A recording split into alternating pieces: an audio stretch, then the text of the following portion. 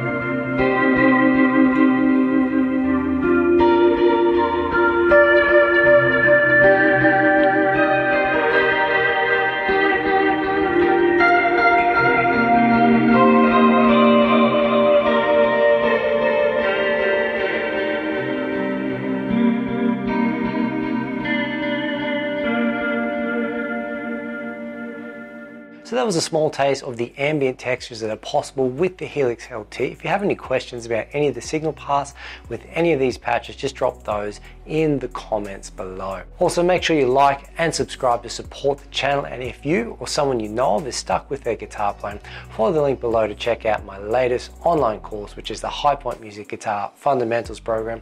This course contains all of the unique systems and processes that I've developed over the years with my personal students to fast track and master the fundamentals fundamental skill sets of contemporary guitar. You can even check it out on an obligation free trial before you buy, so there's no excuses to be stuck in a rut with your guitar playing anymore. Thank you very much for watching. My name is Ryan White, and I'll catch up with you all in the next video.